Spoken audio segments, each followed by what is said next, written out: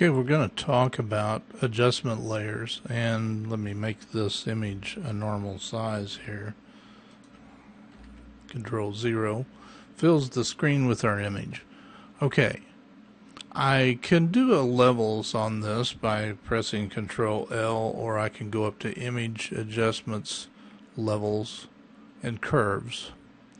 Uh, let's do levels first. So we get this box and let's just say I really want to bump the contrast on this because I'm going to paint it or whatever. So I, I'm really bumping the contrast quite a bit as you can see. Let's do the preview. Big difference. Click OK. We have nothing over here to show for what we just did. If we want to see it, we have to look in our uh, history palette and you see we got the levels right here. But if we keep on in our merry way working on things, uh, this change that I just made is permanent. I can't go back and fine tune it. Even now, I can't fine tune it. I can go to edit, edit, sorry, and fade levels.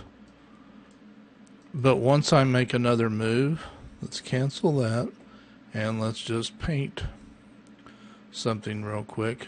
I'll just click on a regular paintbrush get a regular brush going here.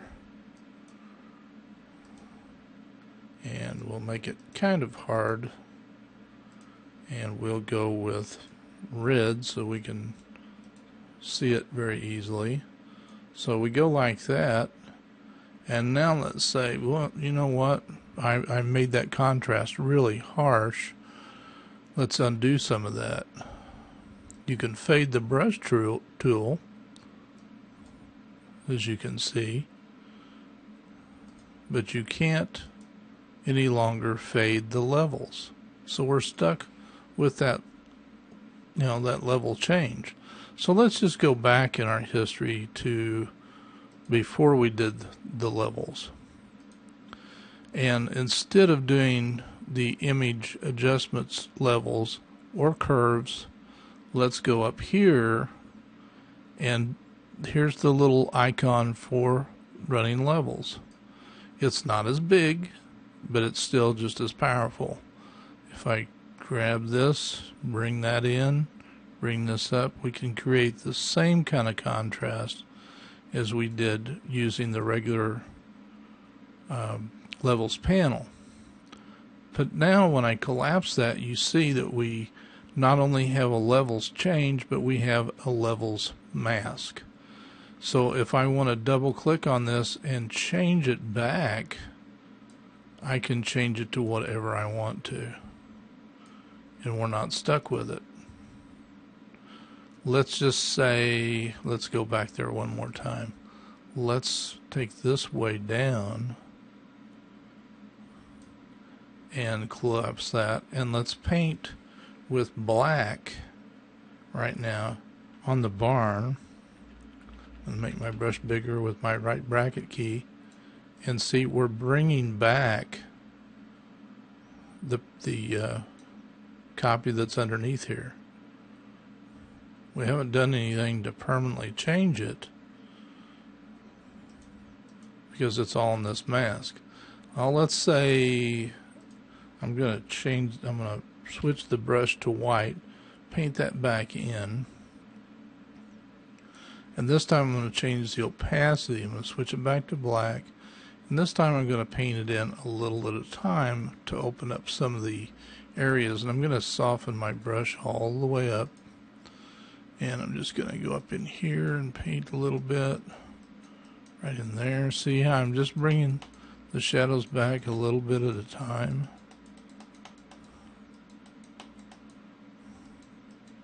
If you look in the layers palette, you see I'm painting basically with gray because the opacity is turned down to 18%. So I can keep doing this and bringing back as much detail as I want to. I can do the same thing anywhere on the image. If I change the opacity of the brush, I bring it back obviously much faster. Let's control Z that if we get the right buttons. And we'll lighten that back up over here. So hopefully that shows you the difference between just a regular panel and the panels that we up, here uh, for adjustments. This will stay there if I make uh, other copies, if I put text down. Um, see the new text is there, but I still have my adjustment layer. And we'll keep the adjustment layer. Uh, if we save it as a PSD file, the adjustment layer will still be there when we open it back up. So it's a very powerful way to work versus how I used to work all the time and would do a regular control L and bring this up and then have nothing over here to show for that change. Hopefully this little tip helped. This is a little tutorial about uh, putting an image or a um, let's say a texture file over the top of another image. In this case, I'm going to move the deer picture over into this image here of the other barn. And I'm just going to basically click on the move tool. I'm going to click, hold it down, left click, hold it down, drag it up to the other image until the other image appears, and then just drag it back down and let go. The deer is really big, but it's there. So I can do a control T. And need to make this smaller. And hold down the shift key. And so now we have the deer inside the other picture. Control 0 makes them both the same size. So now I can mask these things out. So I can simply put a layer mask over here and paint with black. So I turn on a brush, I hit the letter B. And that's a pretty soft brush and the opacity is way down, so I'll run it up to 100. And remember, we're not erasing anything, we're only hiding what's on this layer and letting the bottom layer show through. Sometimes this is the quickest way instead of making a selection. Sorry I keep hitting the Windows key. And let's make this a little bit harder. Let's click on here and harden the brush up a little bit so it doesn't just spray all over the place as I paint. Get down here close to the deer. and I'm not going to do a super good job. You guys already know how to use these tools, I'm sure, but I'm just going to paint a little bit so you can have the idea. And if you look over there in the layers palette on the mask, you can see what's being masked and what's being left alone. So the deer on the current layer, we're leaving it alone. Now here you can soften your brush up and uh, kind of take the fur down gradually. Otherwise, uh, you can just really smooth. I've seen people use this on on hair like a woman's hair, and you'll just be chopping her hair all off smooth, and it'll look really crazy. So to avoid that, you just soften the brush edges up. You know, you just go up here and turn hardness all the way off, and that way you can paint and not destroy all the hair, or in this case, fur. So just, I shouldn't be painting with that soft brush right now, um, but we don't want to keep using time switching back and forth right now. We're going to say this is wonderful. Let me get around the ears so that doesn't look too weird.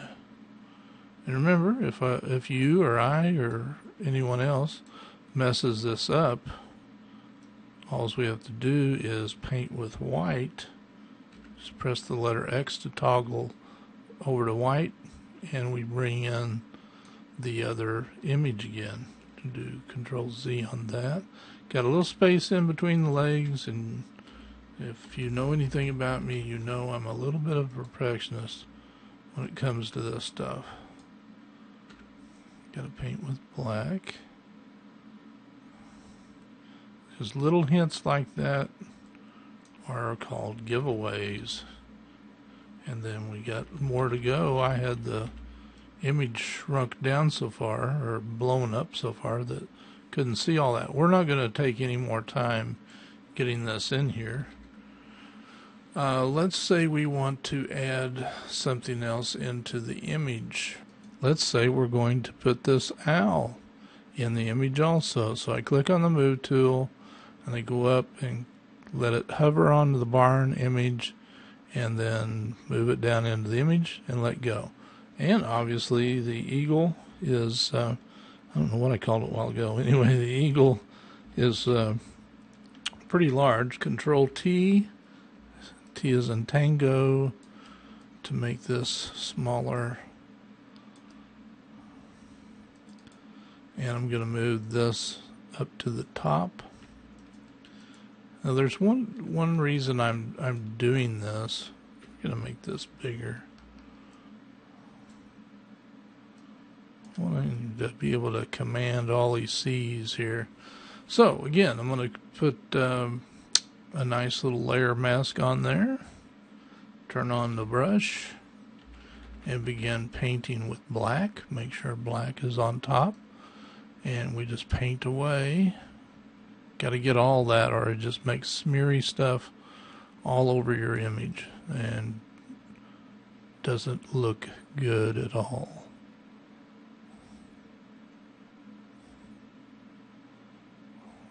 Get in there a little bit closer or a lot closer. Make the brush smaller. And this is another place where a smoother brush would probably be advisable. But time is of the essence, so we're just going to make do. So now I have the eagle sitting up here on top of the barn. He's looking cool, looking around. All right, we're starting to get some layer accumulation. The common theme here, or the theme, I guess, is farm, farm animals, wildlife, whatever you. Definitely not farm animals, are they? They're wildlife. So let's put them in their own uh, composition layer folder. Um, comp layer, I think is what they're called, or comp folders. Right down here, it looks like a little manila folder. It's got the tab on it and everything. I'm just going to call this wildlife.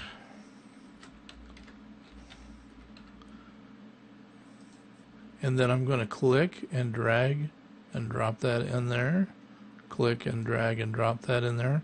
So if I click this little down arrow, they're all hidden in the wildlife folder. So I can, if I want to work on them, I can just click on them and just do like before. And I can go ahead and finish painting the deer. Voila, just like that, the deer is taken care of. Anyway, I really like layer comps, and uh, I think if you give those a try, you're going to like them as well. So let's click uh, turn that off.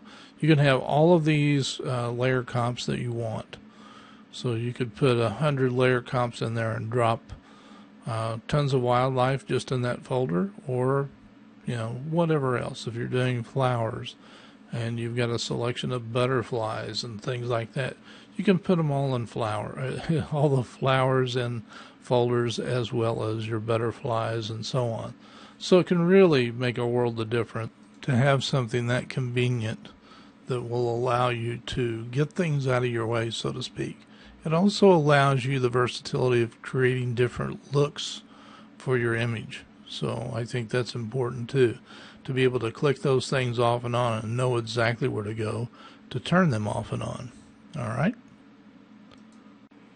Sometimes we create images uh, that need text in them for explanation or for a card or publication, something that we just need to have some text in. But sometimes we don't know uh, the the size of the font that we want, and we want to change it on the fly. So I'm just going to put some text in here so you can uh, see what I mean. And to do that, we need to uh, click on the text tool and just click anywhere. If we want to, you know, type a sentence, we need to click and drag a text box. But we're just going to put, uh, I don't want Z, old farm, and click down here to move that over. And let's select that and change it so we can see it a little bit better. So I'm going to make this white instead. Click OK. So now you can see how big the text is. It's fairly large, but let's double click over here in the layers palette on the T and go up here to where the font size is and right here by the 72 points to the left hand side there's a double T one small one large T. If you click on that and hold your mouse down you can click or you can just drag your mouse and it will resize that for you. Click on the uh, move tool and it will commit that change. And again if you don't like it double click on the text over here in the layers palette to select it and again come over here to the double T's and click and just drag your you know just move your mouse to the left move your mouse to the right to resize it. Click on the commit button up here or on the move tool and your text is completed. Here's a photograph I took a long time ago uh, Garden of the Gods by Harrisburg Illinois and I'm going to move this image over into my other barn image. So I'm going to turn on the move tool if it's not already on. Click, hold, and drag up to the other barn. It'll pop open in a week or two. Doesn't want to. Let me try it again. Now my computer's frozen.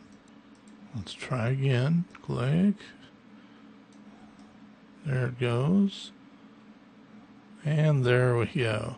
So this time, to get it perfectly squared, when I drop it, I'm going to hold down the shift key and it'll lay that right dead center for me. So here's what I'm going to do. I don't need to make it much bigger. I only want to fill the old farm, the words, with the picture. So I'm just going to do a control T and drag that up a little bit right there. Double click inside the image to complete the transform. And I'm going to create something called a clipping path. And here's what we do. We go over here to the uh, image of the sunset and right between the two layers I want my mouse to be and I'm going to hold down the alt key and notice it changes to a down arrow with a white box. That means it's going to clip this image into the layer underneath, which is the text. So let me just click once, and now that sunset is inside Old Farm. So let me blow that up so you can see it better. See the old the old clouds in there. This works uh, with any type of vector graphic. You can drop stuff in. So let's just go down here to, and I'm going to turn the text off here, and going to turn that off. And let's go down here to the uh, tool, the uh, custom shapes, and let's go to the bottom custom shape tool. Up here at the top, we have all of these shapes and uh, I loaded more because I went over here to the little gearbox and and uh, appended a bunch more as you can easily see. Um, you know, it's it's you know a matter of personal choice what you want to try to use. Let's get something though that's kind of big. Um, let's try the four leaf clover. And let just click up there and it, that goes away. So I can click and drag the four leaf clover however big I want it to be. Now I'm going to do the same thing. I'm going to bring the fire image over again. The uh, sorry, fire sunset and turn on the move tool. Click, hold it down, and then drag it to old barn till it comes on. Move it down into the image a little bit. Hold down the shift key so it'll drop it in the center. Let go. There it is. This time I'm going to make it bigger so I, I can roll it around a little bit more. Double click. Let's resize that whole thing. Make sure we're covering it good. Now I want to clip. Let's move the shape on top of this and uh, no, I want it up there. Sorry. I'm going to go between the two layers with the Alt key held down. It turns into the little down arrow. And when I click, there it is inside that shape. So just about anything that uh, you can use shape tool wise, any text, and if you create something using the pen tool, uh, and reconnect that, it would also clip into a path. So there you have that. Sometimes I get a little frustrated making selections, and especially if there's something big and I don't want to, you know, make a really great selection around it if I, you know, don't need to. And I, you know, using the lasso tool is okay for some things, but a lot of times we need a soft selection and quick. And the best tool to do that is the quick mask tool. So we turn on a regular brush and just press the letter B if you want to do that. Then uh, just press the letter Q or go down here to the bottom of the tool palette. Right here is a square with a little circle in it with dots. So if you double click that, you'll see this little options box it will default to saying masked areas. That's exactly backwards. It should say selected areas. And I'm going to show you why. I'm just going to paint with a fairly large brush. And I'm going to get rid of this. so I'm just painting a selection. And I, I want to get rid of the boat and the people too. So I'm just going to paint all that. This used to be in the old photojournalism and photography days. This was called uh, red acetate, and um, now it's part of Photoshop. I can make my uh, brush a little smaller, and just you know, it doesn't have to be anything too terrific. So all I have to do is click back on that box again, or just press the letter Q and there you see the selection. I cut a little too close to the edge of the, the boats. So I'm going to hit Q again to go right back in to the quick mask and make sure I get all the boat. Otherwise you see some really weird stuff happen and that's not good. So I hit Q again. Now I'm going to go up to Edit, Fill, and Content Aware Fill. Click OK. Give Photoshop a couple of minutes a few seconds, whatever it takes, and voila. Do a control D to turn that off. We got some floaties here, so I'm just going to again, whoops, I'm just painting with red now, and the way you can tell, it's too red. So I'm going to do a control Z and press the letter Q for the quick mask and print, paste, paint, something like that. I'm going to paint a few more little places and hit Q again.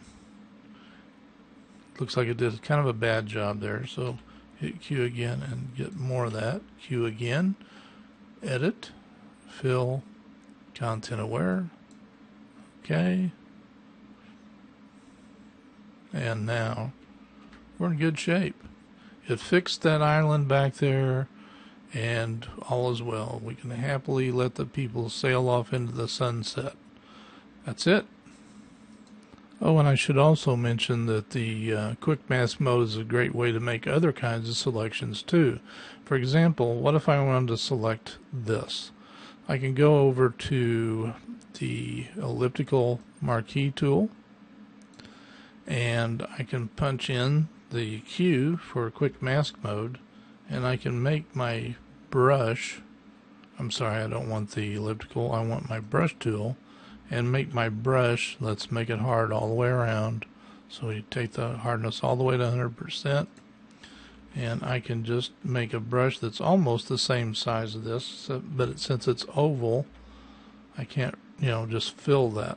So I'm going to make it a little bit smaller than I need to.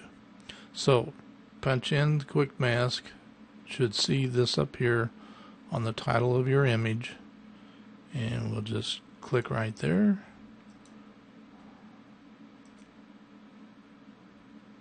I think you can see what I'm doing here.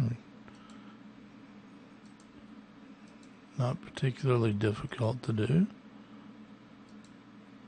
Just want to make sure that whole thing is filled nicely. If I hit Q again, you see we've made a good selection around it. So now I can do a control J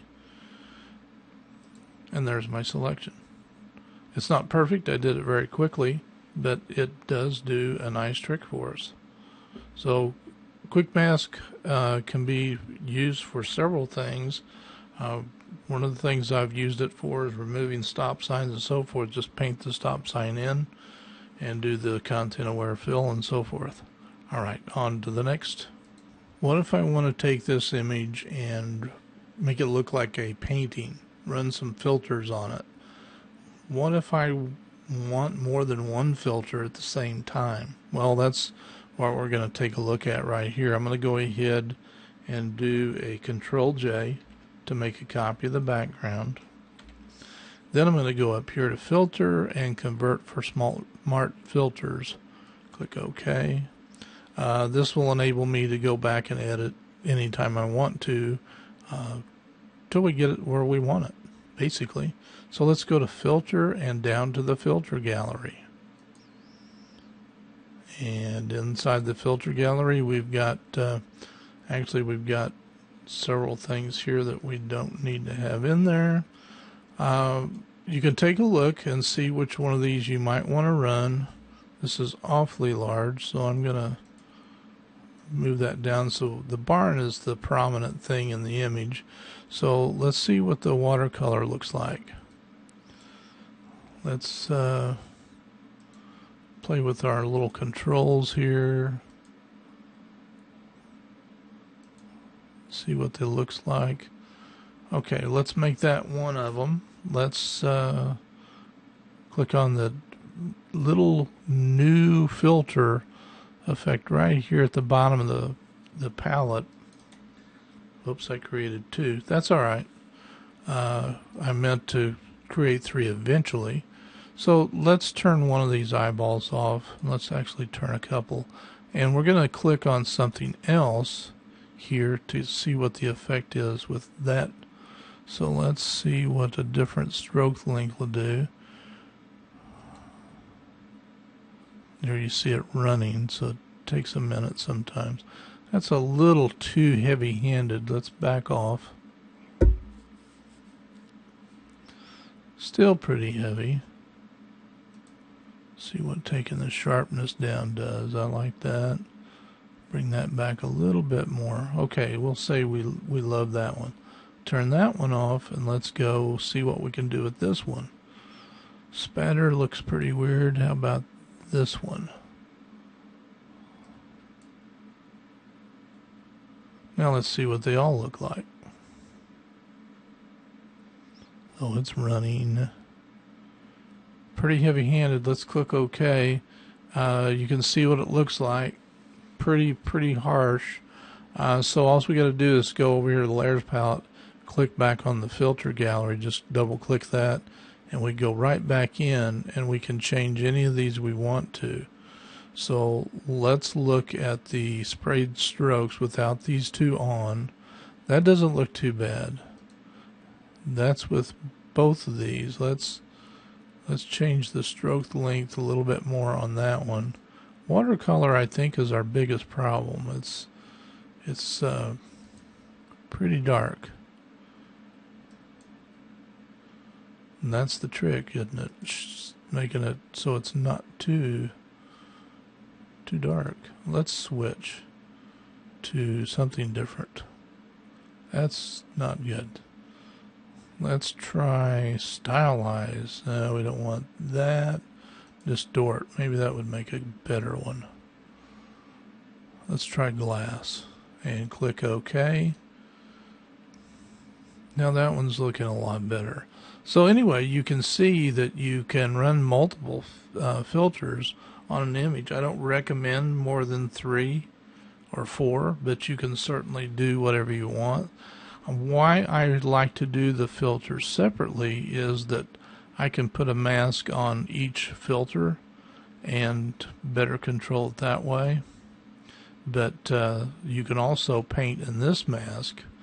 Let's paint with our brush and just paint. Whoops, that's very heavy-handed, and uh, we need a soft brush, and we need to drop the opacity, and then we can kind of paint some of that back. And you see over here in the mask what we did. So multiple filters at the same kind can be done. A lot of people do vignetting inside of Photoshop, but I find it's very easy and pretty doggone accurate to do it inside of Camera Raw. So I've got this same image in here from the Navy Pier in Chicago, and um, I want to just vignette the corners, a little maybe across the edges. But I'm going to go over here where the FX is. I call it the special effects button. And right down here, we don't want to add any grain to it. We, want, we don't want our image to be noisy. We want to go down here to amount. If this was a dark image and we wanted to lighten the um, vignette, we would go to the right. Obviously, to darken it, we want to go to the left. And all of these other things will help us fine tune the effect. And really, the only way you know how to adjust this is eyeball it. So you just take those edges in and out until you're happy. There's just a tiny, if you look up here in the corner, you can see the highlights do just a little bit, but not very much. So anyway, you are entitled to be just as heavy-handed or light-handed with this uh, vignetting, but it can be very uh, it can add a little layer of interest and depth to what you're working on and make the viewer focus more to the inside or your subject matter. Okay? By default, Photoshop doesn't have a keyboard shortcut for transforming a selection. If you remember, you can go to, you can make a selection uh, in any image and if you can't get the shape just right, what are you going to do? Well, you can go to select and transform selection and hold down the control key and you can resize your selection uh, however you want to. Obviously for selecting this young man, this key or this trick is not going to be helpful. Now, I don't really want to make a, a selection anyway right now, but what if I wanted to adjust my keyboard so that would have a keyboard shortcut. Well, all you have to do is go to Edit, down to Keyboard Shortcuts. So in here, you can find you can find anything in Photoshop you want.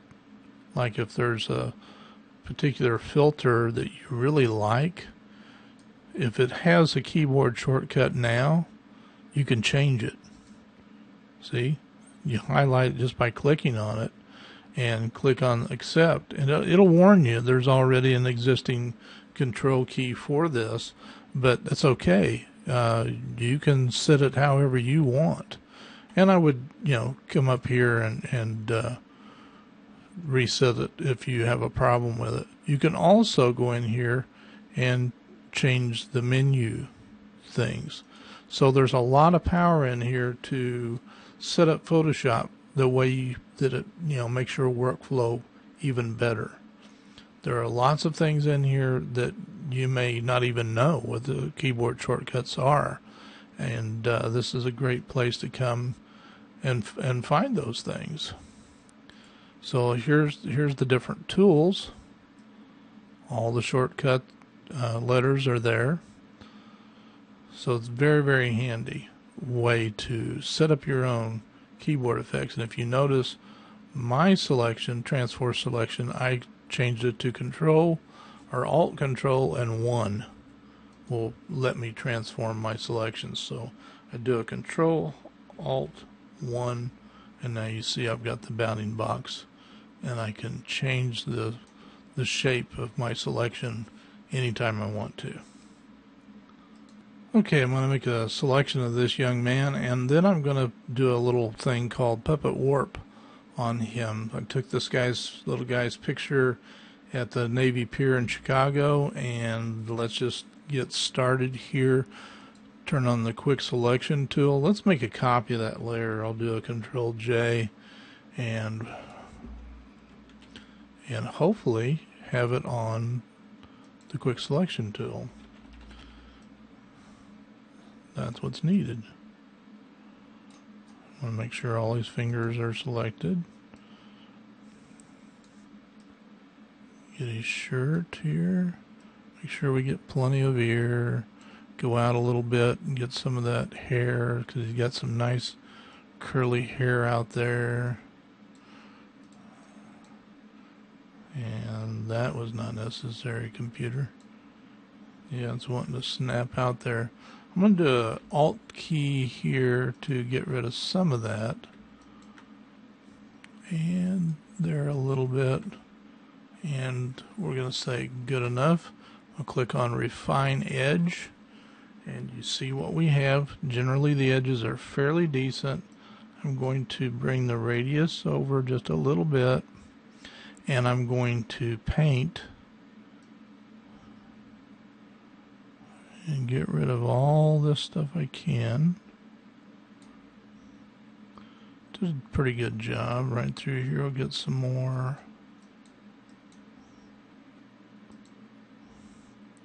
And let's smooth it just a tiny, tiny bit.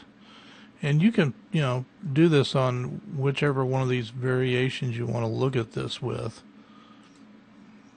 I just a lot of times I'll work with uh, black and other times I'll work with it being on white. You know, you can use any of these. For this one, I like the the white. All right, let's go and feather that just maybe a tiny, tiny bit. I usually like to click on decontaminate. I usually leave it right at 50. Uh, shifting edge to the left will take this in just a little bit which is fine, and click OK. Oops, before we do that, make sure this is on New Layer with Layer Mask.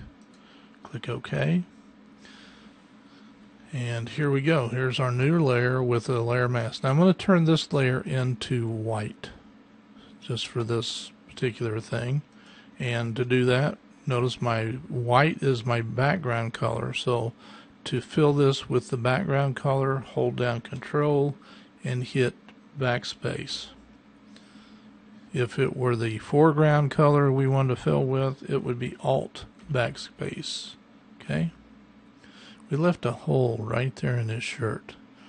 But we're going to pretend that we didn't do that. I didn't see the that in the selection. Anyway, the important thing is we've got to fix uh, the blurs and so forth. And we lost part of the ear. So I'm going to click right on him and go over here to the art history tool. I'm going to make this bigger and just paint that back in. And that's not helping. So let's see here. Let's paint with the mask. Gonna use black. Here we go. All right, now then a little bit right here.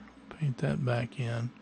And then to get rid of the other stuff, the blurs that are there, we're going to paint with white. And make sure you've got a nice um, clean brush. Make sure we don't have any smears. Looks pretty good, right? And we could probably make this a little bit darker. Got to paint with white again.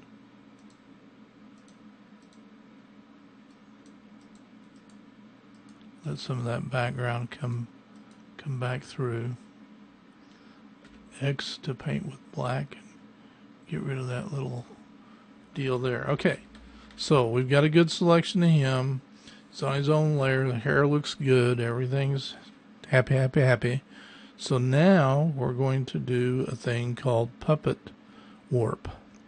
So I'm going to go ahead and apply this layer mask. So he's right there on his own layer. And I'm going to go to edit, puppet warp. And notice it puts a wire frame all the way around our little guy. So what we do to cl- we need to create uh, drop pins is basically what you're doing. So you click in several places. Guess we've already got our some of our pins in there according to it. Put one there, there, maybe not. Will you let me? There we go. And let's come down here, and then I'm going to go over to this other side. Got to get him at the neck, and that, and maybe one up here. So now I should be able to go in here and rotate him a little bit. Oh, I need to put some more pins in, so I went on down here. Let's say we want to bring this hand up. So I've only got these three pins on his arm and I can click on any one of those. Notice a little white dot appears on the active pin. I'm going to click here and put the active dot right on this hand and I can move his hand up and down however I want to. Okay, so now if I uh, go up here to the top right and commit, now you see what it moved to. So if we go into history, that's before, and that's after. Before and after. We can rotate the head, we can rotate the body, and so forth. But sometimes it's handy uh, to be able to move individual parts and make things work.